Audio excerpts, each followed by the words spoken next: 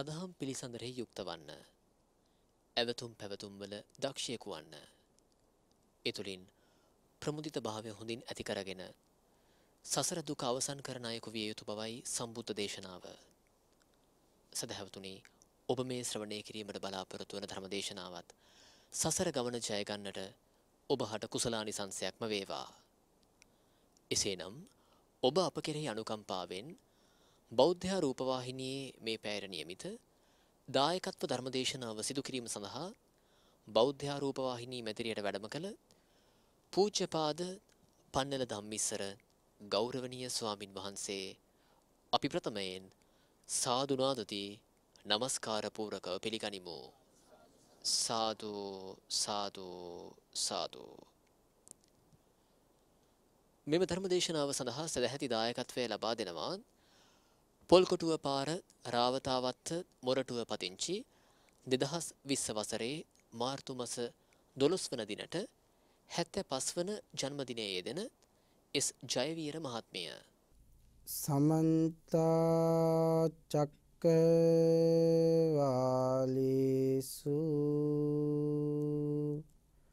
අත්‍රාගත් චන්තු දේවතා සද්ධම්මං මුනිරාජස්ස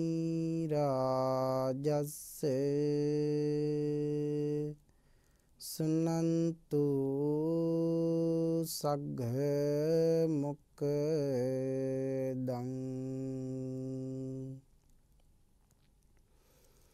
ධම්මස්සවන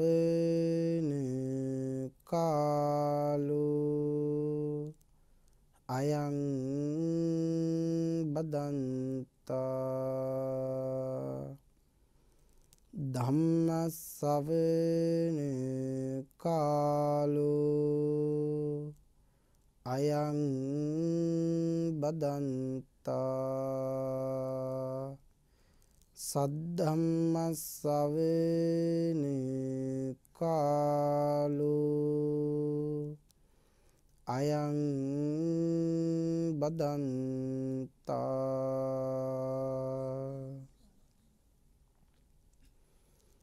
නමුතස්ස භගවතෝ අරහතෝ සබ්බ ධම්මේසු අප පටිහත ඥානචාරස්ස දස බලදරස්ස චතුවේසාරජ්‍ය විසාරදස්ස සබ්බ සත්තුත්තමස්ස ධම්මිස්ස රස්ස ධම්මරාජස්ස ධම්මස්සාමිස්ස තතාගතස්ස සබ්බඥුනු සම්මා සම්බුද්දස්සේ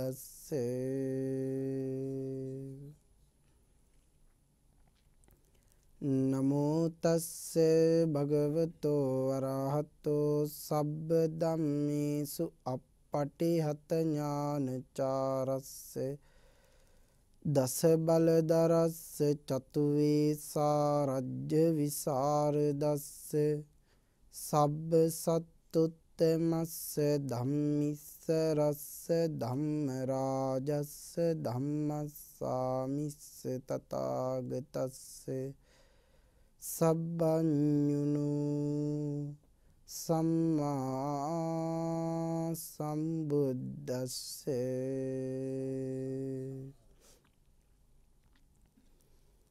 නමෝතස්සේ භගවතෝ වරහත්තෝ සබ්බ ධම්මේසු අපපටිහත ඥානචාරස්ස දස බලදරස්ස චතුවේසා රජ්‍ය විසරදස්ස සබ්බ සත්තුත්තමස්ස ධම්මිස්ස රස්ස ධම්මරාජස්ස ධම්මස්සාමිස්ස තතාගතස්සේ සබ්බඥුනු සම්මා සම්බුද්දස්සේ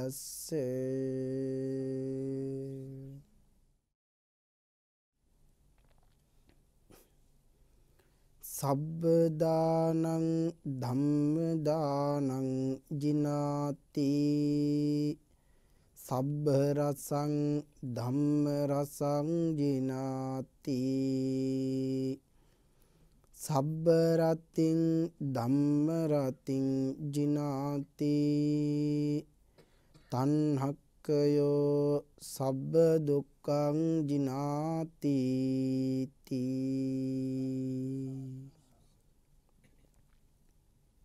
සද්ධර්ම ශ්‍රාවක කාරුණික ගුණගරුක බෞද්ධ පින්නතුනි බොහෝම ශ්‍රද්ධාවෙන් යුතුව මේ පින්වත් පිරිස සැදී පැහැදී සෝදානන් වෙන්නේ තථාගත ශාන්තිනායක සම්මා සම්බුදුරජාණන් වහන්සේ විසින් ලෝක සත්වයින් පිළිබඳ අනන්ත අප්‍රමාණ කරුණාවෙන් දයාවෙන් මෛත්‍රියෙන් යුතුව අවබෝධ කොටගෙන දේශනා කොට වදාළ අති උතුම් ශ්‍රී සද්ධර්ම රත්නයෙන් අබමල් රේණුවකටත් වඩා අඩු පුංචි දහම් කොටසක් දේශනය කරවාගෙන ධර්ම ගෞරවයේ පෙරදරි කොටගෙන දේශනාගත ධර්මය ශ්‍රවණය කරන්නත් එසේ ධර්ම ශ්‍රවණය කිරීමෙන් ලැබෙන අවවාද අනුශාසනා තම තමන්ගේ ජීවිතවලට එකතු කරගෙන වඩාත් නිවැරදි ඊ타මත් ධර්මානුකූල වූ මෙලව ජීවිතයක් ගත කරන්නත් ධර්මානුකූල වූ නිවැරදි වූ මෙලව ජීවිතයක් තුළින් පරලොව සුගතිගාමී වූ ආයතික භවගාමී ජීවිතයකින් සැනසීමේ උතුම් වූ පරම පවිත්‍ර චේතනාවෙනුයි සද්ධර්ම ශ්‍රවණය සඳහා සැදී පැහැදී සෝදානම් වෙන්නේ. පිනතුනි මේ ලෝක ධාතුවේ පවතින සියලුම දහනයන් පරදෝමින් දිනන එකම දහනමේ පින්කම තථාගත ශ්‍රී සද්ධර්ම දානමේ පින්කම බව අපේ පින්නතුන් නිරන්තරයෙන් ධර්ම ශ්‍රවණය කරන පින්නතුන් හැටියට මනාව දන්නවා. ඒ බව අපේ බුදුරජාණන් වහන්සේ මතක් කළේ සක්‍ර දේවේන්ද්‍රයන් වහන්සේ අරමුණු කරගෙන. යම් කෙනෙක් තථාගත ශ්‍රී සද්ධර්මයේ මේ ලෝකයට දානය කරයිද ඒ අය මේ ලෝකයේ තියෙන අති ශ්‍රේෂ්ඨම කුසල කර්මයේ සිද්ධ කරගන්න අය හැටියට අපේ භාග්‍යතුන් වහන්සේ අපිට මතක් කළා. මේ අනවරාග්‍ර සංසාරයෙන් එතරටපත් වෙන්න බලාපොරොත්තු වෙන යම් කෙනෙක් ඉන්නවද? ඒ සියලුම දෙනා ඒ කාන්තෙන් නිවන් අවබෝධ කරගන්න බලාපොරොත්තු වන්නේ නම් තථාගත ශ්‍රී සද්ධර්මයේ ශ්‍රවණය කළ යුතුමයි කියලා අපේ බුදුරජාණන් වහන්සේ අපට කියලා දුන්නා. දහම් ශ්‍රවණය කරන්නේ නැති කිසි කෙනෙකුට කවදාකවත් නිවන් අවබෝධ කරගන්න බැහැයි කියන කාරණාවයි අපේ බුදුරජාණන් වහන්සේ සඳහන් කළේ. එහෙමනම් දහම් ශ්‍රවණය කරන්නම කරන්නම ඕනෙමයි සසර දුකින් අත මිදෙන්න බලාපොරොත්තු වෙන හැමෝම. පින්තුනි අපේ බුදුරජාණන් වහන්සේ අපට කියලා දුන්නා හරියටම බණ ඇහුවොත් මහා කල්ප 8කට තරම් මහා කල්ප 9කට තරම් ආනිසංශ අපට ලැබෙනවා. දැහත් වට්ටියක් දීලා ස්වාමීන් වහන්සේ නමකට බණට ආරාධනා කරාපුවාම ඒක හරියටම කළොත් ඒ ඇයට මහා කල්ප 8ක ආනිසංශ ලැබෙනවා. අපි මහා කල්ප 8කට 9කට රැස් කරගනිද්දී පින් කුසල් මිය පරලෝ ගෙහින ඥාතිවරුන්ට පින් අනුමෝදන් කරපුවාම ඒ අය පින් ගන්න පුළුවන් තැනක උප්පත්තිය ලැබලා ඉන්නවා නම් ඒ අයට එක මහා කල්පයකට පින් අනුමෝදන් වෙන බවත් නිර්මල වූ ධර්මයේ ලෝකයට දානය කරන දේශකයන් වහන්සේට සසර දුකින් අත මිදෙනකම්ම ආනිසංස ලැබෙන බව අපේ බුදුරජාණන් වහන්සේ අපට කියලා දුන්නා. හරියටම බණ අහනවා කියලා කීවහම භාග්‍යවතුන් වහන්සේ කියලා දුන්න විදිහටම ධර්ම ශ්‍රවණය කරන්න ඕනෙමයි. මේ ශාසනය භාග්‍යවතුන් වහන්සේගේ. අපිට ඕන විදිහට මේ ලෝතුරා සම්මා සම්බුද්ධ ශාසනය ගමන් කරන්න පුළුවන්කම ඇත්තේම නෑ. භාග්‍යවතුන් වහන්සේ කියලා දුන්න විදිහටම විතරයි මේ ශාසනයේ ගමන් කරන්න පුළුවන්කම ලැබෙන්නේ. බුදුරජාණන් වහන්සේ බණ අහනවා කියන කාරණාව අපට කියලා දුන්නා. මහත් වූ අනුකම්පාවෙන් හරියටම බණ අහන්න ඕනේ කොහොමද කියලා. අනීවරණ කියන සූත්‍රයේ මහත් වූ බලාපොරොත්තුවක් හදවතේ ඇති කරගෙන ලොකු කුඩා හැම කෙනෙක්ම ධර්ම ශ්‍රවණය කරන්න ඕනෙමයි කියලා අපේ භාග්‍යවතුන් වහන්සේ අපට පෙන්වලා දුන්නා. මහත් වූ බලාපොරොත්තුවක් හදවතේ තියාගෙනම බණ අහන්න ඕනේ. මොකද්ද ඒ බලාපොරොත්තුව? මාමේ ශ්‍රවණය කරන සද්ධර්ම දේශනාව තුළින් මාගේ සිතේ පවතින පංච නීවරණ ධර්මයන් යටපත් වේවා ඒ වෙනුවට සප්ත බෝධ්‍යංග ආදී ධර්මයන් වඩා දියුණු වේවා මේ අති ශ්‍රේෂ්ඨ සද්ධර්ම දේශනාව අතුරුතුරදීම මාහට අති උතුම් වූ මාර්ගයක් ඵලයක් අවබෝධ වේවා කියන ප්‍රාර්ථනාවෙන් යුක්තවම ධර්ම ශ්‍රවණය කරන්න ඕන යන බව භාග්‍යතුන් වහන්සේ අපට කියලා දුන්නා. බොහෝ දෙනාගේ හිතසුව පිණිස බෞද්ධ රූපවාහිනිය තුලින් මේ ධර්ම දේශනාව විකාශයට පත් කරමින් මුළු මහත් වූ ලෝකේ පුරාවටම පින් රැස් කරගන්න කුසල් රැස් කරගන්න ඔබ භාග්‍යතුන් වහන්සේ කියලා දුන්න විදිහටම ධම් ශ්‍රවණය කළොත් අපි තව තවත් අපේ කුසලයේ තීව්‍ර කරගත්ත බවට පත් වෙනවා. එහෙමනම් භාග්‍යවතුන් වහන්සේ කියලා දුන්න විදිහටම ධර්ම ශ්‍රවණය කරමු මේ සද්ධර්ම දේශනාව ඔබට මට ඊ타මත්ම ඉක්මන් භවයක් තුලදීම ඊ타මත්ම කෙටි කාලයකින් සුඛ සහගත ප්‍රතිපදාවෙන් ආර්ය ධර්ම අවබෝධයෙන් ශනශී මුදශාම පාරමී වේවා කියලා ප්‍රාර්ථනා කරගනිමු. පින්තුනි අද ධර්ම දේශනාව සඳහා මම මාතෘකා කරගන්ට යෙදුන ගාථා රත්නයයි ඉහතදී සඳහන් කරන්නට යෙදුනේ මේ ගාථා රත්නය අපේ භාග්‍යවතුන් වහන්සේ දේශනා කළේ සක්‍ර දේවේන්ද්‍රයන් වහන්සේ ඇතුළු කෝටි ගණන් දෙවිවරුන්ට ඇති වුණ ප්‍රශ්න හතරක් අරමුණු කරගෙන. ඒ ප්‍රශ්න හතරට පිළිතුරු හතරක් අපේ බුදු පියාණන් වහන්සේ ලබලා දුන්නා. මේ ගාථාරත්නයෙන් ධම් දේශනා කරනකොට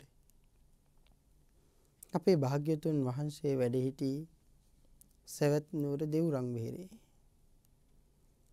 පිනතුනි සමහර කාලවල වලට මනුස්ස ලෝකෙන් දෙවියන්ට ප්‍රශ්න ඇති වෙනවා. දෙවියන් අතරත් ප්‍රශ්න ඇති වෙනවා. එහෙම ප්‍රශ්න ඇති වුනහම දෙවිවරු එකට එකතු වෙලා මේ ප්‍රශ්නවලට පිළිතුරු හොයනවා. හැබැයි සමහර කාලවල වලට පිළිතුරු හම්බ වෙන්නේ පිළිතුරු හම්බ වෙන්නේ නැහැ. නමුත් පිළිතුරු දෙන්න පුළුවන් අය මේ ලෝකේ පහළ වෙනවා අය නෙවෙයි. එකම එක්කෙනයි මේ ලෝතුරා සම්මා සම්බුදුරජාණන් වහන්සේමයි. සඳහන් කරනවා එක දෙවි කෙනෙකුට මේ ප්‍රශ්න හතර ඇති වුණා. මොකද්ද මේ ප්‍රශ්න හතර? සියලුම දානයන් දිනන එකම දහනමේ පින්කම මොකද්ද? සියලුම රසයන් දිනන එකම රසය කුමක්ද? සියලුම රතීන් දිනන එකම රතිය කුමක්ද? මෙලොව උතුම් වූ ඵලය ලැබෙන්නේ කුමක් දුරු කිරීමෙන්ද කියන මේ මේ ප්‍රශ්න හතර ඇති වුණා. අපිටත් මේ ප්‍රශ්නවලට පිළිතුරු දෙන්න පුළුවන්කමක් තියෙනවන්නේ කියලා ඔබට දැන් හිතෙන්න පුළුවන් සමහර විටකදී. ඇයි අපිට එහෙම හිතෙන්නේ? බුදුරජාණන් වහන්සේ මේ ප්‍රශ්නවලට අපට පිළිතුරු ලබලා දීලා තියෙන නිසා සහ ඔබයි මමයි බුද්ධාන්තරයක උපත සකස් කරගෙන ඉන්න නිසා. එහෙමනම් භාග්‍යවතුන් වහන්සේ මේ ප්‍රශ්නවලට පිළිතුරු දන්නවා කියලා දෙවිවරු දැනගත්තා. ඒක දෙවි කෙනෙක් මේ ප්‍රශ්න හතරට අවුරුදු 12ක් පිළිතුරු හෙව්වා. අවුරුදු 12ක් කියනකොට කොයිතරම් දීර්ඝ කාලයක්ද? පිළිතුරු හම්බුනේම නැහැ.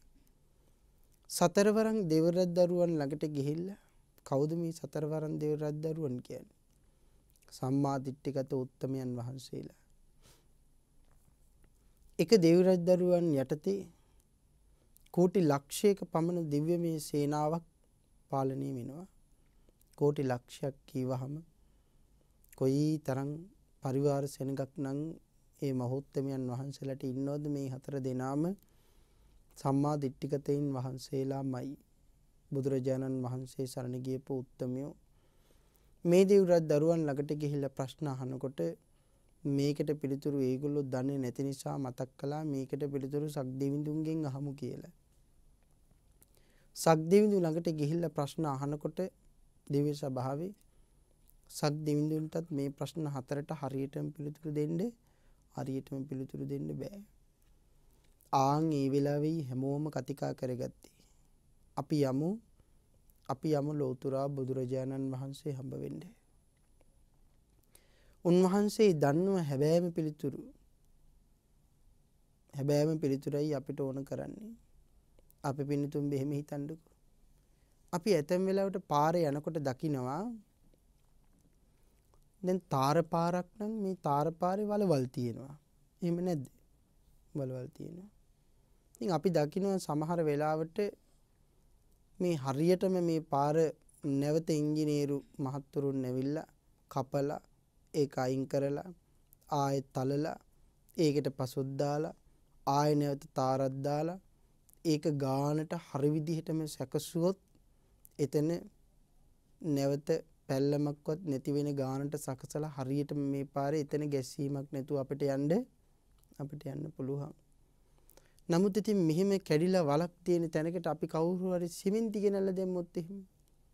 එමෙ නැතිනම් මඩවලකින් අපි පිරෙව්වොත් වැලිවලකින් අපි පිරෙව්වොත් එච්චර කාලයක් මේක පවතින්නේ එච්චර කාලයක් පවතින්නේ නෑ. එහෙනම් මේ ප්‍රශ්න හතරටත් හරියටම පිළිතුර ගත්තොත් විතරමයි. ඒක ගැලපෙන්නේ වෙනත් වෙනත් බාහිර බාහිර ආලේප වලින් ඇලෙව්වට මේක වැඩක් නෑ. ඒකට හරියටම පිළිතුර දෙන්න ඕනේ. හරියටම බදාමය අර වලට වැටෙන්න ඕන වගේ. ආන්ගේ නිසා සැබෑම ප්‍රඥාවන්ත උත්තමයන් වහන්සේලා භාග්‍යතුන් වහන්සේ හොයාගෙන ආව මධ්‍යම රාත්‍රියේ දෙවිවරුන්ට ධර්මයේ දේශනා කරන වෙලාවක් අපේ භාග්‍යතුන් වහන්සේගේ තියෙනවා. වැඩිමනත්ම ජීවිතේ හැමදාකම අපේ භාග්‍යතුන් වහන්සේ සිද්ධ කරන්නේ ලෝක සත්වයාව සංසාර සාගරයෙන් ගෙතරට පත් කරන්න බණි කියන එකමයි. රාත්‍රී 10 විතර වගේ ඉඳලා රෑ දෙක තුන විතර වගේ වෙනකන් අපේ බුදුරජාණන් වහන්සේ දෙවියන්ට බණි කියනවා. එහෙම බණි කියන වෙලාවට ඒ වෙලාව එනකන් දෙවිවරු බලාගෙන ඉන්නේ. හරියට සමහර අවස්ථාවන්වලදී අම්මටයි තාත්තටයි හරියටම ලිංගතු වුණ දරුවෝ දවස පුරාම වැඩ රාජකාරී ඉවර වෙලා තමන්ගේ අම්මයි තාත්තයි ගෙදරට එන්නේ කොයි වෙලාවෙදි කියලා බලාගෙන ඉන්න වෙලාවල් නැද්ද? හ්ම් තියෙනවා. ආන් වගේ ඊටත් වැඩි ගුණයකින් බනහඬ වෙලාව ලැබෙනකන් දෙවිවරු බලන් ඉන්නවා. සඳහන් කරනවා මේ දිව්‍ය රාජයන් වහන්සේලා භාග්‍යවතුන් වහන්සේ ළඟට ඇවිත් සක්‍ර දේවේන්ද්‍රයන් වහන්සේ සමග භාග්‍යවතුන් වහන්සේ වන්දනා කළා. භාග්‍යවතුන් වහන්සේ වන්දනා කරලා මේ ප්‍රශ්න හතරට අපේ භාග්‍යවතුන් වහන්සේගෙන් පිළිතුරු විමසුවා. ආන් ඒ වෙලාවේ තමයි අපේ සම්මා සම්බුදුරජාණන් වහන්සේ මහත් වූ අනුකම්පාවෙන් මේ ප්‍රශ්න හතරට පිළිතුරු ලබලා දෙන්නේ. ආන් ඒ පිළිතුරයි මේ ධර්ම දේශනාවේදී සඳහන් කළේ. සබ්බ දානං ධම්ම දානං ජිනාති. සක් දෙවිඳුනි සියලෝම දහනයන් පරදවල දිනෙන එකම දහනමේ පින්කමක් මේ ලෝකයේ වෙතොත් ඒ මහා කුසල කර්මය තථාගත ශ්‍රී සද්ධර්ම දානයයි. එහෙමයි අපේ බුදුරජාණන් වහන්සේ සක්‍ර දේවේන්ද්‍රයන් වහන්සේට මතක් කළේ. සද්ධර්ම දානයමයි මේ ලෝකේ ශ්‍රේෂ්ඨ වෙන්නේ. සද්ධර්ම දානය මේ ලෝකේ ශ්‍රේෂ්ඨ වෙන්නේ ඇයි? දානී තමයි මේ ලෝකේ ශ්‍රේෂ්ඨ වෙන්නේ. නමුත් දාන පාරමිතාව කියන්නේ විශාල විශාල පාරමිතාවක්. මේ දාන පාරමිතාව පිළිබඳව සඳහන් කරලා තියෙන උදාහරණයක් ධර්මයේ සඳහන් කරනවා. දාන පාරමිතාව කියන්නේ විශාල භාජනයක් නම් අනිකුත් සියලුම පාරමිතා තියෙන්නේ මේ මේ භාජනය භාජනය ඇතුලේ තියෙන දේවල් වගේ කියලායි සඳහන් කරන්නේ. එහෙනම් හිතාගන්න පුළුවන්ද දාන පාරමිතාව කියන්නේ කොයිතරම් විශාලයිද කියලා. අති මහත් අති විශාලයි.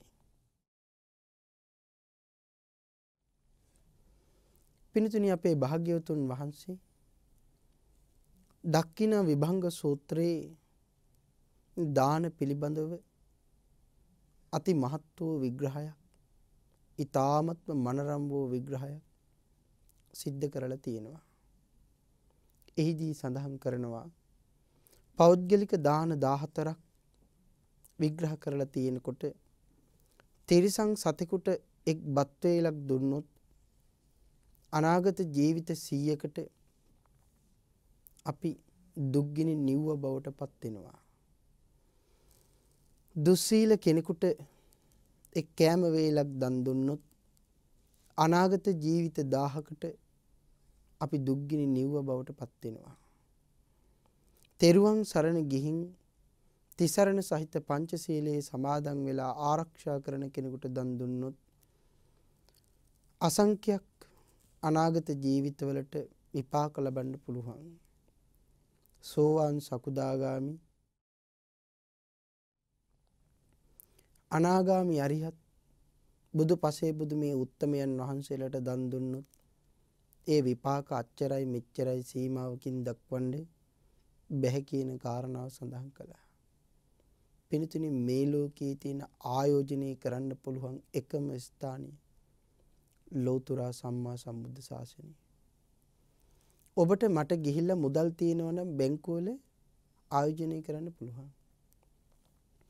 යම් යම් දේවල් තියෙනවා නම් ඒ තියෙන තියෙන තරමට යම් යම් ස්ථානවල ආයෝජනය කරන්න පුළුවන්. නමුත් ඒ දේවල් අපට සසරට උපකාරයක් වෙන්නේ සසරට උපකාරයක් වෙන්නේ නෑ. මොකද මේ සසර ගමන බොහොම දිගයි. හැබැයි මේ සංසාර සාගරයේ ඇවිදගෙන යනකොට අපේ සසර සුවපත් කරන්න අපට විශාල බලපෑමක් ඇති කරන්න මේ ලෝතුරා සම්මා සම්බුද්ධ ශාසනය අපට විශාල උදව්වක් වෙනවා. විශාල උදව්වක් විතරක් නෙවෙයි ඒකේ සීමාවක් දක්වන්නට බැරි තරම්. ඒකනේ සඳහන් කරන්නේ ධම්මං විනා නත්ති පිතාච මාතා ධර්මයේ හැර සත්ත්වයින්ට වෙන අම්මෙක් තාත්තෙක් වුණ කෙනෙක් මේ ලෝක ධාතුවේ තවත් නම් තවත් නම් නෑ ධර්මයේ විතරමයි සත්වයින්ට මේ සසරදි පිහිට වෙන්නේ. එහෙමනම් කෙනෙකුට කෑමක් බීමක් දුන්නහම ඒක නමුත් මේ සසරෙදි අපිට යම් කාලයකින් විපාක දීලා ඉවර වෙන්න පුළුවන්. නමුත් ලෝතුරා සම්මා සම්බුද්ධ ශාසනය අපි ආයෝජනයක් සිද්ධ කළොත් ඒ ආයෝජනයට පුළුවන්කම තිබෙනවා සසන වසනතුරු නිවන් දකින තුරාවටම අපි ආරක්ෂා කරන්න රැකගන්න බලාගන්න සසර ගමනින් එක්කරගෙන සසර ගමනින් එතරට පත් කරවන්න නිරයන් වල උපත සකස් වෙන අයුරු නැති කරලා දාන්න භවය සකස් වෙන ආකාරය නැති කරලා දාන්න නිවන් අවබෝධ කරවන්නේ. ලෞතුරා බුද්ධ ශාසනයකට පුළුවන්කම තියෙනවා. ආන් එහෙමනම් ලෞතුරා සම්මා සම්බුද්ධ ශාසනය අපිට ආයෝජනය කරන්න පුළුවන් නම් ඒක කොයිතරම් වටිනවද බුද්ධිමතුන් මහා ප්‍රඥාවන්තයින් ලෝතුරා බුද්ධ ශාසනය ආයෝජනය කරනවා දන් දීලා සිල් රැකලා පාරමිතා පුරලා බණ භාවනා කරලා.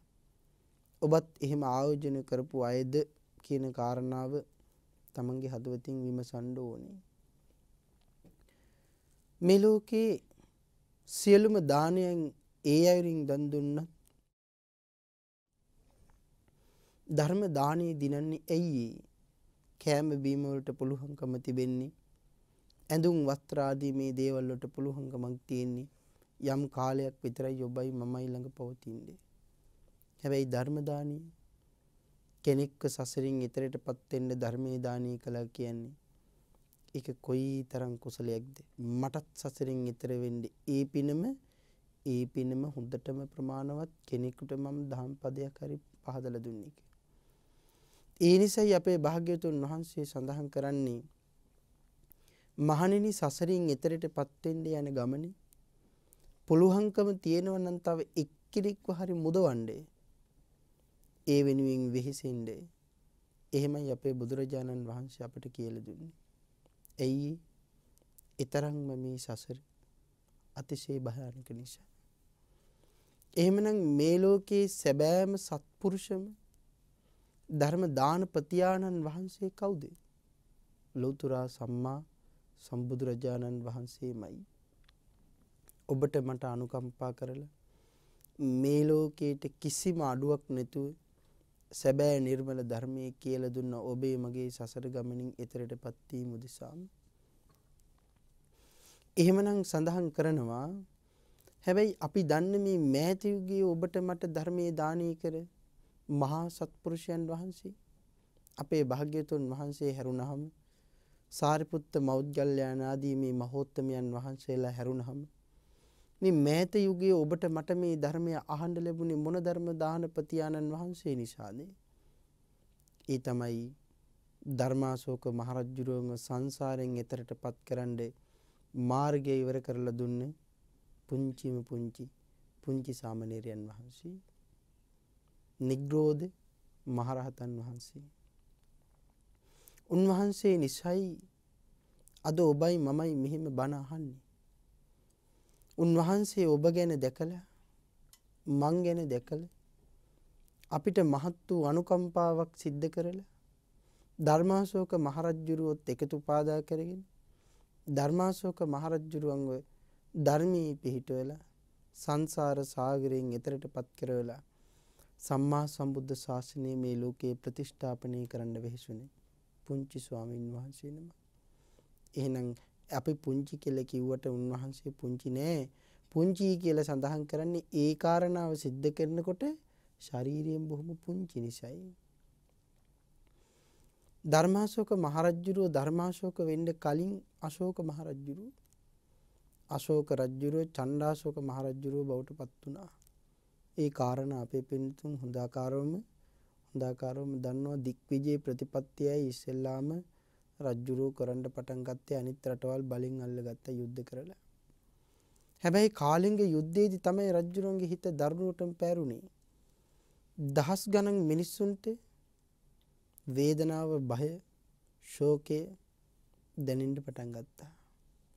රාජමාලිගාවේ යුද්ධ කළ දිනපු නිසා ඇමතිවරු මිනිස්සු සතුටින් යුක්තව කාලය ගත කරන්න විවිධ උත්සවාදිය සම්පාදනය කරලා තිබුණත් අශෝක රජ්ජුරුවන්ගේ හිතේ දුකක් ඉතිරි වෙලා තිබුණේ. කොයි තරම් මිනිස්සු ඝාතනය කළාද? කොයි තරම් යුද්ධයක්ද මං කළේ? ඇයි මම මෙහෙම දෙයක් කළේ කියලා දුකින් තමයි හිටියේ. ආන් එහෙම ඉන්න වෙලාවේ අපේ නිග්‍රෝධ සාමණේරයන් වහන්සේ සංසුන් ඉඳුරන් සහිතව මේ මාලිගාව ඉස්සරහා පාරින් පින්ඩ පාතේ වඩිනවා. උන්වහන්සේ දැනන් හිටියේ නෑ රජ්ජුරුව මන් දිහා බලාගෙන ඉඳී. රජ්ජුරුව මං ගැන පැහැදෙයි. රජ්ජුරුව මාව මාලිගාවට එක් කරගනි. රජ්ජුරුව මගෙන් බනහයි. ඒක උන්වහන්සේ දැනගෙන හිටියේ දැනගෙන හිටියේ නෑ. හැබැයි රජ්ජුරුව සීමෙදුරු කවුළුවෙන් පාර දිහා බලාගෙන ඉන්නකොට දකින්නවා සංසුන් වූ ඉඳුරන් සහිතව බොහොම ගමන් බිමන් පුදුම විවේකයෙන් වඩින මේ පුංචි සාමණේරයන් වහන්සේ. හිත බොහෝම පැහැදුනා. සේවකයන් යවලා මේ උත්තමයන් වහන්සේව මාලිගාවට ගෙන්න ගත්තා. මාලිගාවට ගෙන්නගෙන කතා බහ කරලා දම් පිළිගන්නලා බණත් අහනවා. ආන්නේ එදා තමයි ස්වාමිනී ඔබ වහන්සේ පැවිදි භූමියට පත් කළේ කවුද? ඒ වෙනකොට ලෝතුරා සම්මා සම්බුද්ධ ශාසනයේ ශාසන භාරධාරීන් වහන්සේ මොග්ගලී පුත්තතිස්ස මහරහතන් වහන්සේ. මොග්ගලී පුත්තතිස්ස මහරහතන් වහන්සේ ළඟට මේ පුංචි සාමණේරයන් වහන්සේ අශෝක රජුරුවන් එක්කරගෙන යන්නේ. එදා පටන් දික්විජේ ප්‍රතිපත්තිය අතහැරපු අශෝක රජතුමා ලෝතුරා සම්මා සම්බුද්ධ ශාසනය මේ ලෝකයේ පුරාවටම පතුරවන්නේ මහත් වූ අනුකම්පාවෙන් මහා මෙහෙවරක් කරපු උත්තමයන් වහන්සේ නමක් බවට පත් වුණා. ධර්ම විජය කරන්නට පටන් ගත්තා. එදා නිග්‍රෝධ සාමණේරයන් වහන්සේ නොහිටින්නට ඔබට මටවත් මේ ධර්මය අහන්න ලැබෙන්නේ අහන්න ලැබෙන්නේ නැහැ. තුන්වෙනි ධර්ම සංගායනාව සිද්ධ කළා. 84000ක් වෙහෙර විහාර සිද්ධ කළා. ඒ වෙහෙර විහාරවල් වලට සර්වඥ ධාතුන් වහන්සේලා ධාතුන් වහන්සේලා පවා හම්බ වුණා. ලෞතුරා සම්මා සම්බුද්ධ ශාසනය උන්නතිය වෙනුවෙන් වැඩ කටයුතු කළා. බුද්ධ ශාසනය විනාශ වෙන්න ගියපු මොහොතක ශාසනය නැවත නගා හිටෙව්වා. දවසක් මහරහතන් වහන්සේලා ළඟට ගිහින් අහනවා. ස්වාමිනී මම ලෞතුරා සම්මා සම්බුද්ධ ශාසනයේ සැබෑ දායකයෙක්ද? දායකයෙක්. නමුත් බුද්ධ ශාසනයේ ඥාතිත්වයක් නේ කියලා සඳහන් කළා. ඥාතිත්වය ලබන්න මොනවද මං කරන්න ඕනේ? ඔබේලේ ඥාතිකම් තියෙන යම් කෙනෙක්, උරුම කරුමකම් තියෙන යම් කෙනෙක් බුද්ධ ශාසනයේ පැවිදි කළොත් ඥාති වෙන්න පුළුවන්. ආන් ඒ වෙලාවේ මහින්ද කුමාරයයි සංගමිත්තා කුමාරියයි පැවිදි වෙන්න තීරණය කරන්නේ. බුද්ධ ශාසනයේ පැවිදි වුණාම මුළු මහත් ලෝක ධාතුව පුරාවටම යුද්ධ කර කර යුද්ධ කර කර යුද්ධයෙන් ලේ හලහල දින දින දින ඉඳපු මේ රජුරෝ ඒක නතර කරලා සංසාරයෙන් එතර වෙන්න මගේ මිනිසුනි ඒකටයි මේ මනුස්ස ලෝකෙට අපි ආවේ ධර්මයේ තවමත් ඇහෙනවා මේ සසරින් එතරටපත් වෙන්න මගේ කල්යාණ මිත්‍රේණී කියලා දහම් පණිවිඩය මේ මුළු මහත් ලෝක ධාතුව පුරාවටම විසිරවන්න කටයුතු කළා. එහෙම කටයුතු කිරීමේ ප්‍රතිඵලයක් විදිහට තමයි ධර්මාශෝක මහරජුරුව අපේ රටටත් තමන්ගේම ලෙයින් මේ ලෝකයට ජාතක වෙච්ච මහින්ද කුමාරයා සම්මා සම්බුද්ධ ශාසනයේ පැවිදි භූමියටපත් වුනහම අනුබුදු හිමි මහින්ද මහරහතන් වහන්සේ අපේ ලංකා තලයට වැඩලා අපිට මේ ධර්මී දානය කරන්නේ. හැබැයි මොන වගේ කුසල කර්ම කරගත්ත කෙනෙක්ද මේ ධර්මාශෝක මහරජුරුව? සඳහන් කරන්නේ සසරේ පැණිවෙලෙන්දෙක් විදිහට ඉපදිලා හිටියේ. තවත් සහෝදරයෝ දෙන්නෙක් ඉන්නවා. ඒ සහෝදරයෝ දෙන්න තමයි එතන පින ගැන සඳහන් කරනකොට අති දීර්ඝ ධර්ම සාකච්ඡාවක් එතන තියෙනවා. එතන සඳහන් කරනවා මේ නිග්‍රෝධ සාමණේරයන් වහන්සේත් ඒ වෙනකොට අපේ ලංකාවේ ඉඳපු දේවානම්පියතිස්ස මහරජුරුවොත් ඒ වගේම මේ අශෝක රජුරුවොත් මේ තුන් දෙනාම ඒ කාලේ එකට සහෝදරයෝ පැණි වෙළඳාම් කරනකොට පසේ බුදුරජාණන් වහන්සේට පැණි පූජා කළ ප්‍රාර්ථනාවක් කළා. ස්වාමීනි මම විශාල දීපයකට අධිපති මහරජෙක් බවට පත් වෙන්න ඕනි. එනම් ප්‍රාර්ථනාව විශේෂයි. ප්‍රාර්ථනා කරන්නම කරන්න ඕනේ හැම පින්කමක්ම කරලා ප්‍රාර්ථනා විශේෂයි. ඒ කාරණාව තුළ සඳහන් කරනවා පැණි පූජා කරලා අහසින් අහස දෙසට යොදුනක් පොළොවින් පොළොව යට දෙසට යොදුනක් අනසක පිහිටවන්න පුළුවන් දීප චක්‍රවර්ති කෙනෙක් මං වෙන්න ඕනේ එහෙමයි ප්‍රාර්ථනාව කළේ. ඒ ප්‍රාර්ථනාව කරලා ඒ ආකාරයෙන්ම ඉටු වේවා පුතේ කියලා පසේ බුදු පියාණන් වහන්සේ වැඩපුවාම ඒ පින තමන්ගේ සහෝදරයෝ දෙන්නට අනුමෝදන් කරන්න ගියා. සහෝදරයෝ දෙන්න මේ පිනේ වටිනාකම දන්නේ නැති නිසා එක්කෙනෙක් කිව්වා අල්ලා වීසි කරපන් උඹේ ওই පින මහා සාගරෙන් යහා පැත්තට කිව්වා. අනිත් එක්කෙනා කිව්වා අල්ලා වීසි කරපන් උඹේ ওই පින මේ සැඬොල් ගමකට කියලා කිව්වා. නමුත් පස්සේ ඒගොල්ලෝ ඒක තේරුම් අරන් පින් අනුමෝදන් වෙනවා. නමුත් ඉතින් අර කිව් එකට විපාක ලැබෙන්න ඉපයි. ආන් ඒ නිසායි අශෝක මහරජුරු දීප චක්‍රවර්ති රජෙක් බවට පත් වෙනකොට අල්ලා වීසි කරපන් උඹේ උපින මහ සයුරෙන් එහා පැත්තට කිව්ව කෙනා අපේ රටේ දේවානම්පියතිස්ස මහරජුරෝ බවට පත් වෙලා ඉපදුනා කියලා ධර්මීය මහරහතන් වහන්සේලා අපට කියලා දුන්නා. ඊළඟට සඳහන් කරනවා අල්ලා වීසි කරපන් උඹේ උපින සැඬොල් ගමකට කියපු කෙනා මේ නිග්‍රෝධ සාමණේරයන් වහන්සේ විදිහට උපත සකස් කරගත්තා කියන කාරණාව සඳහන් කරලා තියෙනවා. නමුත් සඳහන් කරනවා ධර්මාශෝක මහරජුරුව ලෞතුරා සම්මා සම්බුද්ධ ශාසනය අපේ රටට එවපුවාම ඒකට ප්‍රතිඋපකාර වශයෙන් කෘතගුණ සැලකීමක් වශයෙන් අපේ රටේ ඉඳපු දේවානම්පියතිස්ස මහරජුරුව රං රිදී මුතු මැණික් වලින් පනුරු පාක්කුඩම් වලින් මේ කෘතගුණ සැලකීමේ උපහාරයක් දඹදිවට යවනකොට දඹදිවින් ඒ වටිනාකමට එවන්න පුළුවන් රන් රිදී මුතුමැණික් වල තරම් වටිනාකමක් නැහැ කියලා. අපේ රටෙන් යවපු රන් රිදී මුතුමැණික් වලට වටිනාකමට ඒ රටෙන් එවන්න දෙයක් මේ රටට නැවත නැහැ කියලායි සඳහන් කරන්නේ. ඇයි එහෙම අර පින අනුමෝදන් වීමේ කුසලයක් විදිහටයි එච්චර සැප සම්පත් අපේ රටේ දේවානම් පෙතිස්ස මහරජුරන්ට ලැබුණි කියන කාරණාව සඳහන් කරනවා. එහෙනම් වෙන කෙනෙක් කරපු පිනක් අනුමෝදන් වීම කොයිතරම් වටිනවද කියන කාරණාවත් එතන දිගින් දිගට සාකච්ඡා කරන්න තියෙනවා. අපි හැම වෙලෙම කල්පනා කරන්නේ යම් පවක් සිද්ධ වුණොත් ඒ පව ගැනම කල්පනා කරනවා. නමුත් අපි කරගත්ත කුසල කර්ම අපි අමතක කරලා අපි අමතක කරලා දානවා. මේ අපි සාකච්ඡා කළේ මේ ලෝකයට මහත් ලෙස ධර්ම දානය කර මහා දානපති ආනන් වහන්සේ මෑත යුගයේ තුන්වෙනි ධර්ම සංගායනාව සිද්ධ කරලා ඔබට මට මේ ධර්ම ඉවර කළ දුන්න උත්තමයන් වහන්සේ. එමනම් ඔබටත් මටත් අදත් මේ තාක්ෂණයේ දියුණු යුගයක මේ විදිහට ධර්ම දේශනාවක් පටිගතවල පටිගත කරවලා ලෝක සත්වයාටම දානය කරලා යම් කෙනෙක් ඒ බණ පදයක් අහලා පැහැදුනා නම් ඒගොල්ලොන්ගේ හිතේ අංශු මාත්‍රයක හරි ශ්‍රද්ධාවක් බුදු පියාණන් වහන්සේ කෙරෙහි ඉපදුනා නම් එයින් පිං රැස් වෙන්නේ පළමුවෙන්ම කාටද? මේ ඔබටමයි. ඒකයි සඳහන් කළේ ඒක මහ කුසල කර්මයක්. එහෙනම් සියලුම දානයන් පරදවල දිනන්නේ ධර්ම දානයයි සංසාර සාගරයෙන් එතරටපත් වෙන්න ධර්මය අවශ්‍යමයි. සංසාර සාගරයෙන් එතරටපත් වෙන්නේ කෑම්බීම තිබ්බට කෑම්බීම තිබ්බට නම් බෑ. එහෙනම් ඊළඟට සඳහන් කරනවා සබ්බ රසං ධම්ම රසං ජිනාති සියලෝම රසයන් පරදවල දිනන්නේ ධර්ම රසයයි. මේ ලෝකේ කොයිතරම් රස තියෙනවද? ඇඹුල් රස, තිත්ත රස, පැණි රස, කටුක රස, කිසිම රහක් නැති රස මේ විදිහට රසවල් මේ ලෝකේ ඕන තරම් තියෙනවා. දැන් රස තණ්හාව අපිට තියෙන නිසා නෙවෙයි දැන් එක වෑංජනියෙක් එක්ක බත් ටිකක් අපිට කන්න බැරිද? පුළුවන්. කොසේ තියෙන ගින්න නිවන්න නම් වෑංජන නැතුව බත් ටික වුණත් බත් ටික වුණත් අපිට හොඳටම ප්‍රමාණවත්. එහෙම නෙමෙයිද? එහෙමයි. දැන් අතීතයේ මුතුන් මිත්තු සමහර කාලවලදී පණකෙන්ද රැක ගන්න ඕන නිසා බෙමිනි තියා සාය කාලේ අපේ රටේ ඇති වුනහම අපේ සමහර උත්තමයන් වහන්සේලා හුඹස් දැල්ලා අනුභව කළා කියලා සඳහන් කරනවා. හුඹස් දැල්ල කියන්නේ හුඹහේ අග කොටස.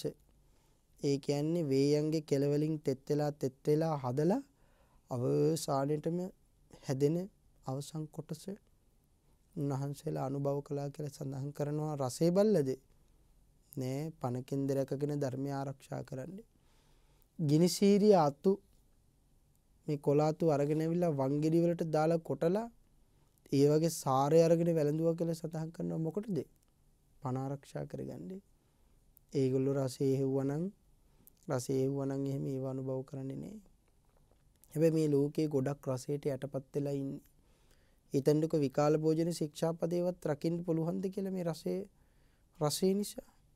බුලත් පිටක්වත් අඩුම තරමේ බුලත් පිටක්වත් අඩුම තරමේ 12න් පස්සේ ගණ්ඩමයි අපි හදන්නේ ඇයි මේ මොනවා හරි හපන්න දෙන්න ඕනේ අඩුම තරමේ කහට රසයේ හරි දිවට උගුරට දත්වලට දැනෙන්න ඕනේ. එතකොට එහෙනම් කොයිතරම් මේ රස තණ්හාවට අපි අහු වෙලා ඉන්නවද? එක වෑංජනයක් එක්ක විතරක් අපි බත් ටිකක් කනකොට ඒ වෑංජනේ හදන්න කොයිතරම් දුකක් විඳිනවද මේකට රසයන් දාන්න ඕනේ ඒ රසේ දානකොටත් අපි නැවත හදන ගමන් කටේ තීතිය ටික ටික හරි බලනවා සම්බෝලයක් හරි හැදුවොත් ඒකට ලුණු මදිද ඇඹුල් රා මදිද මිරිස් හැර මදිද එහෙම බලන්නේ නැද්ද? බලනවා. හැබැයි තව ටිකක් ඒකට තවත් වෑංජනයක් එකතු වෙනවා නම් තවත් රසයි. ඒ නිසා අපි මොකද කරන්නේ? වෑංජන පහක් හයක් අතරම තරමේ හදාගන්න බලනවා. හැබැයි වෑංජන පහක් හයත් බත් ටිකත් එක්ක එකට එකතු කරලා අනලා වළඳනකොට අනලා අපේ කුසේ තියෙනකොට කොයි තරම් ඒකේ රසයක් අපට දැනෙනවද? නමුත් කෑමකට බීමකට ඒ රසයේ දැවුනට ඒ රසයට බෑ ඔබ මාව සසරින් එතෙට්ටපත් කරන්න. ඒ රසයට පුළුවන්කම තියෙන්නේ තව තවත් මේ කාමයන් පිළිබඳව තණ්හාව ඇති කරවලා ඒ රස තණ්හාවට පුළුවන්කම තියෙන ඔබ මාව නිරේගාමී කරවන්නේ. උදාහරණයකට සඳහන් කළොත් මස් මාළු කන්න කැමති වෙන කෙනා යම් මසකට වැඩිපුර ප්‍රියමනාපය දක්වනවා නම් එයා මොකද කරන්නේ? ඒ සත්වයාව මරලා හරි එයාගේ රසය භුක්ති විඳින්න එයා කටයුතු සම්පාදනය කරගන්නවා එතකොට මොකද වෙන්නේ ප්‍රාණඝාතයක් සිද්ධ වුණාම ඒ ප්‍රාණඝාතයේ එයාව සැපයට එක්ක යනවද දුකට එක්ක කරගෙන යනවද? එයාව එක්ක කරගෙන යන්නේ දුකට. එහෙනම් ආන් තණ්හාවට කරන්න බැරි දෙයක් කරන්න බැරි දෙයක් නෑ. නම් සඳහන් කරනවා. හැබැයි ධර්මයේ පිළිබඳව ඇති වෙන රසය ධර්ම ශ්‍රවණය කරන රසයක් ඇති වුණොත් ඒක හැමෝටම ඇහෙන්නෙත් නෑ. හැමෝටම අහන්නත් බෑ. හැබැයි එහෙම අහන්නත් බණ අහන්නත් පින් තියෙන්න ඕනේ. බණ අහන්නත් පින් නැතිව බණ අහන්න බෑ ඒකේ රසය තේරෙන්නේ නෑ බොහෝ දෙනෙකුට. ඇයි ඒ බණ අහන්න ධර්ම ශ්‍රවණය කරන්න ඒකේ රසය විඳින්න පින් කරලා නැති නිසා. සමහර අය ඉන්නවා පාලියෙන් බණ අහන්න කැමති සිංහලෙන් කියවෙනවට වැඩිය. දැන් සිංහලෙන් කියවෙනකොට යම් රසයක් අපිට තේරෙනව නේද? අපිට රසයක් දැනෙනවා. හැබැයි සිංහලට අපි පරිවර්තනය කරලා අරගත්තට අපේ භාග්‍යතුන් වහන්සේගේ දේශනාව පාලියෙන් අහන්න කැමතිමයි ඉන්නවා. මොකද පාලියෙන් අහනකොට කියවනකොට අපි පෙරලලා ගන්නවට වැඩි රසයක් ඒක තුලේ තවත් තියෙනවා. සා එහෙම බණ අහන්න කැමති අය මේ ලෝකේ ඉන්නවා ඔබට වඩා මට වඩා අය. ධර්ම රසයට පුළුවන්කම තියෙන ඔබ මාව සසරින් මුදවන්න. එහෙනම් තීරණය කරන්න කොයි රසයටද අපි ඇබ්බැහි වෙන්න ඕනේ කියන කාරණාව. ඊළඟ ප්‍රශ්නේ තමයි සියලු රතීන් දිනෙන උතුම් රතිය කුමක්ද? මේ රතිය කියන්නේ කැමැත්ත. එතනදී භාග්‍යවතුන් වහන්සේ සඳහන් කළා සියලුම රතීන් දිනෙන උතුම් රතිය තමයි ධර්ම රතිය. ධර්මයේ යෙදෙනකොට ඒක තමයි මේ ලෝකයේ තියෙන උතුම්ම රතිය කියලා අපේ භාග්‍යවතුන් වහන්සේ අපට කියලා දුන්නා. තණ්හක්කයෝ සබ්බ දුක්ඛං ජිනාති මෙලව උතුම් වූ ඵලය ලැබෙන්නේ කුමක් දුරු කිරීමෙන්ද? ඒකට පිළිතුර තමයි තණ්හක්කයෝ තණ්හාව ක්ෂය කිරීමෙන් තමයි මේ ලෝකේ ලබන්න පුළුවන් උතුම්ම ඵලය ලබන්න පුළුවන්කම තියෙන්නේ කියන කාරණාව සඳහන් කළා. ඒ තමයි බුදු පියාණන් වහන්සේ පසේ බුදු පියාණන් වහන්සේ මහරහත් බෝධිය. මේ මේ කාරණා තුනම ලබන්න පුළුවන්කම ලැබෙන්නේ තණ්හාව ක්ෂය කිරීමෙන් තණ්හාව ක්ෂය කරන්නේ නැතිව ඔබට මට කවදාකවත් මේ දුකෙන් මිදෙන්න බැහැයි කියන කාරණාවයි සඳහන් කළේ. උදාහරණයක් විශාකා සිටු දියණිය එක අවස්ථාවකදී බොහෝම සෝවාන් වෙච්ච උපාසිකාවක් වේදනාවක් හිතට දැවුණා. ඒ තමන්ගෙම පුතෙකුගේ ඊටාම ආදරණීය දූනියක් මිනිබිරියක් කලුරිය කළා. දරා ගන්න බැරිව ආදාහනය කරලා කොණ්ඩෙයි මේ ශරීරයයි ඇඳුම් පැළඳුම් තෙත් කරගෙන භාග්‍යතුන් වහන්සේ ළඟට ආව මහදවාලේ හිත හදාගන්නේ බුදු පියාණන් වහන්සේ අහනවා මහදවාලේ විශාකාවෙනි. මේ කොණ්ඩෙයි මේ වස්ත්‍රයි තෙත් කරගෙන කොහෙද මේ යන්නේ? ඒ වෙලේ සඳහන් කළා ස්වාමීනි මගේ මිනිබිරියක් අද කලුරිය කළා. මට බොහොම දරා ගන්න අමාරුයි. සසරින් එතර යන්න සෝවාන් ආර්ය භූමියට පත්වෙච්ච උපාසිකාවක්. බුදුරජාණන් වහන්සේ ඇගේ හිත හදන්න මහා ප්‍රඥාව අවදි කරවන්න ඕන නිසා ප්‍රශ්නයක් අහනවා. විශාකාවෙනි මේ නගරේ කොච්චර ජනතාවක් ඉන්නවද? සැවැත් නුවර හත් කෝටියක් තරම් ජනතාව ඉන්නවා කියලා සඳහන් කළා. විශාකාවෙනි ඔබ කැමති නැද්ද මේ හත් කෝටියක තරම් ජනතාව ඔබේ දූවරු දරුවෝ මොනබුරු මිනිබිරියෝ වෙනුවට කැමති නැද්ද කියලා ඇහුවා. දැන් ඉස්සර ඉඳපු කිරියම්මලා කිරියත්තලා නත්ත පනත්ත කිත්තා ඒගොල්ලෝ ඒගොල්ලෝ හරිය කැමති දරුවෝ තමන්ගේ දරුවෝ තව තව දරුවෝ දකින්න හම්බ කරනවා දකින්න හරි ආසයි. අද නම් ඒ කාරණාව අද නම් ඒ කාරණාව බොහොම දුර්ලභයි හොයාගන්න නැති තරම්. නමුත් සඳහන් කරනවා මොකද නැත්තේ ස්වාමීනි මේ හත් කෝටියක් තරම් ජනතාව තරම් දරුවෝ මුණුබුරු ලබන්න කැමති නැද්ද කියලා ඇහුවා. එහෙම අහනකොට සඳහන් කරනවා මොකද නැත්තේ ස්වාමීනි? එච්චර දරුවෝ මුණුබුරු ලැබෙනවා නම් මම බොහොම සතුටුයි කිව්වා. එතකොට සඳහන් කරනවා දවසකට කී දෙනෙක් මේ නගරේ මැරෙනවද? අඩුම තරමේ 10 දෙනෙක් 9 දෙනෙක් 8 දෙනෙක්වත් එක්කෙනෙක්වත් ස්වාමීනි මේ නගරේ මැරෙනවමයි. මැරෙන්නේ නැති අයගෙන් මේ නගරෙ හිස් නෑ කියලා කිව්වා. ඒ වෙලේ සඳහන් කරනවා අපේ භාග්‍යවතුන් වහන්සේ. එහෙනම් විශාකාවෙනි එකම දවසක්වත් ඔබට පුළුවන් ද මේ තෙත නැති වස්ත්‍ර ඇඳගෙන තෙත නැති කොණ්ඩෙත් එක්ක ඇඳීම් දෙඩීම් වැළපීම් නැතුව ඉන්න කියලා ඇහුවා. විශාකාවට තේරුණා Tamanට වැරදුනා කියලා. සඳහන් කරනවා ස්වාමීනි එහෙනම් එච්චර දරුමුණු බොරෝ හිටියොත් මට කවදාකවත් අඬන්නේ නැතුව ඉන්න හම්බ වෙන්නේ ඉන්න හම්බ වෙන්නේ නෑ. තණ්හාව නිසා නෙවෙයිද කියන්නේ ස්වාමිනී මට මෙච්චර දරුමුණු බොරෝ ඉන්නවා නම් කොච්චරම් හොඳද? අපිත් කියනවානේ මට රත්තරන් මාලයක් තියෙනවා නම් කොයිතරම් හොඳද? රත්තරන් මාල හතක් තිබුණොත් එක වගේම නෙවෙයි සඳුදට වෙන එකක් අඟහරුවාදට වෙන එකක් බදාදට වෙන එකක් දාන්න කොයිතරම් අපි කැමතිද? හැබැයි රත්තරන් මාල හතක් තියෙනවා කියලා හොරෙක් දැනගත්තොත් ඒ ගෙදර ඒ ගෙදර අපිත් දන්නවා නම් දැන් හොරු දන්නවා අපේ ගෙදර රත්තරන් මාල හතක් තියෙනවා කියලා. අපිටත් සතුටින් නිදා ගන්න පුළුවන් වේද රාත්‍රියට? බෑනේ. අපිට රාත්‍රියේ නිදා ගන්න හම්බ වෙන්නේ නැහැ. අපි කල්පනා කරනවා කොයි වෙලාවෙ මේක ඇතුළට ඇවිල්ලා අපිට ගහලා හරි මේ මාල හත අරගෙන යයිද? එමෙ හිතෙන්නේ නැද්ද? එමෙ හිතෙන අවස්ථා තියෙනවා. එහෙනම් තණ්හාව නිසා රාත්‍රියට නිදා ගන්නවත් හම්බ වෙන්නේ නැහැ. තණ්හාව නිසා ඒක රැක රැක ඉඳ හිතෙනවා. මෙරිලා ගිහිල්ලා සමහර වෙලාවට ඒ මාල හත පිළිබඳව තණ්හාවෙන් මෙරිලා ගියොත් ඒකෙම සතෙක් වෙලා ඒකෙම සතෙක් වෙලා උප්පත්තිය ලබන්නත් ඉඩ තියෙනවා. ඒක සඳහන් කරලා තියෙනවා අර ඉනිකුණෙක් වෙලා ඉපදුන ස්වාමින් වහන්සේ අහලා තියෙනවා නේද? ස්වාමින් වහන්සේ නමක් ඉනිකුණෙක් වෙලා ඉපදුනා චීවරයකට තිබුණ ආසාව නිසා. මේක ඇති ඇති භයානක මේ තණ්හාව එතනදී අපේ භාග්‍යතුන් වහන්සේ සඳහන් කරන උපාසිකාවෙනි කෙනෙකුට ආශාවන් 100ක් තියෙනවා නම් එයාට දුක් කීයක් තියෙනවද 100ක් තියෙනවා උපාසිකාවෙනි කෙනෙකුට ආශාවන් 50ක් තියෙනවා නම් එයාට දුක් 50ක් තියෙනවා විශාකාවෙනි යම් කෙනෙකුට ආශාවන් 10ක් තියෙනවා නම් එයාට විපාක දුක් 10ක් තියෙනවා.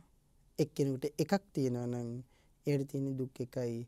හැබැයි එක්කෙනෙකුට එක ආසාවක්වත් නැතිනම් එයාට කිසිම දුකක් එයාට කිසිම දුකක් නැහැ. මම බොහොම ගැඹුරු සූත්‍රයක් මේ බොහොම කෙටියෙන් සඳහන් කළාට. එහෙනම් දුක නිවාලන්නට නම් තණ්හාව දුරු කරන්න ඕනේ. නම් තණ්හාව දුරු කරන්න නම් ඉස්සෙල්ලාම ලෞතර බුදුරජාණන් වහන්සේ පිළිබඳව ශ්‍රද්ධාව ඇති වෙන්න ඕනේ. ශ්‍රද්ධාව ඇති වුණාම මේ දාන පාරමිතා ආදී මේ පාරමිතා පුරන්න ඕනේ. එහෙම පාරමිතා පුරන ගමන් හිතෙනවා සිල් රකින්න ඕනි කියලා. සිල් රැකෙනකොට හිතෙනවා ප්‍රඥාව ප්‍රගුණ කරන්න ඕනි කියලා. ප්‍රඥාව ප්‍රගුණ කරගෙන යන ගමන් හිතෙනවා දැන් නම් මම සසරින් එතර වෙන්න පෙරම් පුරන්න ඕනි කියලා. එහෙම පෙරම් පුරාගෙන යන ගමනේ තමයි මේ දාන සීල භාවනා ත්‍රිවිධ පුණ්‍ය ක්‍රියාවම මේ සසරේ පෙරම් පුරලා පෙරම් පුරලා නිවන් මඟ ඉතර කරගන්න ඔබට මට ලැබෙන්නේ මේ දේශනාව අවසන් වෙනකොට සක්‍ර දේවේන්ද්‍රයන් වහන්සේ බුදු පියාණන් වහන්සේලාට මතක් කරනවා ස්වාමීනි එසේනම් ඔබ වහන්සේගේ ශ්‍රාවකයින්ට කියන්නේ ධර්ම දේශනාවක් අවසන් වෙනකොට බණපද දෙකක් තුනක හරි සාකච්ඡාවක් අවසන් වෙනකොට අපිව මතක් කරලා අපිට පින් අනුමෝදන් කරන්න කියන්න ස්වාමීනි ඒ බව ඔබ වහන්සේගේ ශ්‍රාවකයින්ට කියලා දෙන්න ස්වාමීනි කියලා ඉල්ලීමක් කළා. ඒ ඉල්ලීම නිසායි එදා ඉඳලා දෙවියන්ට ලෝක සත්වයින්ට ධර්ම දේශනාවක් අවසානයේදී පින් අනුමෝදන් කරන්නේ. එහෙමනම් ධර්ම දේශනාවට ලැබිලා තියෙන කාලය අවසන් නිසා අදට අපි ධර්ම දේශනාව අවසන් කරමු. මේ සද්ධර්ම දේශනාව ශ්‍රවණය කිරීමෙන් ඔබ සියලුම දෙනාට සසර ගමන නිවන්න මහත් වූ උපකාරයක්ම මේ ධර්ම දේශනාව තුළින් උදාපත් වේවා කියලා ප්‍රාර්ථනා කරගනිමු. මේ උතුම් වූ සද්ධර්ම දේශනාව සඳහා පින්වන්ත දායකත්වයේ පොල්කොටුව පාර රාවතාවත්ත මොරටුව පදිංචි. 2020 මාර්තු 12 වෙනි දිනට 75 වන උපන්දිනයේ සමරන එස්. ජයවීර පින්වත් මහත්මිය ඇතුළු සත්පුරුෂ පින්නතුන් විසින් උතුම් අරමුණ PC ජයවීර පින්වත් පියතුමන් සහ පින්වත් මෑණියන් වන බේබිනෝනා උපාසිකා මාතාවට පින් පැමිණවීමත් එල් ජයවීර සිරිසේන ජයවීර එනුක හන්සිලු හේමා අබේකෝන් සොහොයුරු සොහොයුරියන් මුණුබුරු මිනිබිරියන් ඥාතිවරුන් ඇතුළු සියලෝම නම් සඳහන් කළ නොකළ හැම දෙනාටම මේ පින් අනුමෝදන් වේවා සසර දුකින් අත මිදේවා කියන උතුම් වූ වරමුණ ඇතිව සෙත් ආශිර්වාද ප්‍රාර්ථනා කරනවා. W. ජයවීර සොහොයුරාණන් WP ජයවීර සොහොයුරාණන් යන දෙපළ ඇතුළු පවුලේ හැම දෙනාටමත් හිත මිත්‍රාදීන්ටත් සත්පුරුෂයින්ටත් රත්නත්‍රය අනන්ත ගුණ බලයෙන් නිදුක් නිරෝගී චිරජීවනීය උදාපත් වේවා කියලා ආශිර්වාද කරනවා. ඒ වගේම මාර්තු 8 වෙනි දිනට විවාහ සංවත්සරය සමරන තනූජා ජයවීර පින්වත් මහත්මියටත් රත්නත්‍රය අනන්ත ගුණ බලයෙන් මෙලොව පරලෝ දෙලොව ජීවිත සුවපත් වේවා කියලා ආශිර්වාද කරනවා. ඒ වගේම විශේෂයෙන් සඳහන් කරනවා කොරෝනා වෛරසයේ රෝගයට ගොදුරු වූ සියලුම දෙනාටමත් රත්නත්‍රි ආශිර්වාදයේ උදාපත් වේවා. මේ මුළු මහත් වූ ලෝක ධාතුවම සුවපත් වේවා. නිදුක් වේවා. නිරෝගී වේවා. සියල්ලෝ සතුන් සම්මා දිට්ඨිගත වේවා කියලා ආශිර්වාද කරනවා. රණවිරුවන්ටත් ත්‍රිවිධ හමුදාවටත් පොලිසියටත් හැමටත් මේ පින් අනුමෝදන් වේවා.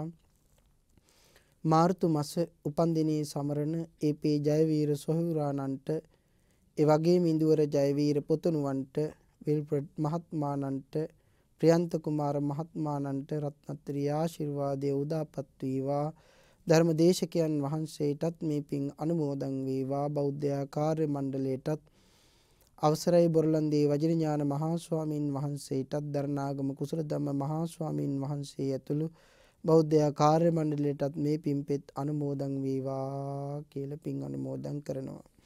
දේශකයන් වහන්සේට අනුමෝදන් කළ සියලුම පින් දහම්මා පැවිදි භූමියට පත්කල ගුරු දෙගුරුන්ටත් ධර්මාර්ගයේ කියා දුම් පූජනීය කෝරළයාගම සරණතිස්ස මගේ පින්නතුන් වහන්සේටත් මේ සියලුම පින් අනුමෝදන් වේවා කියලා ප්‍රාර්ථනා කරනවා.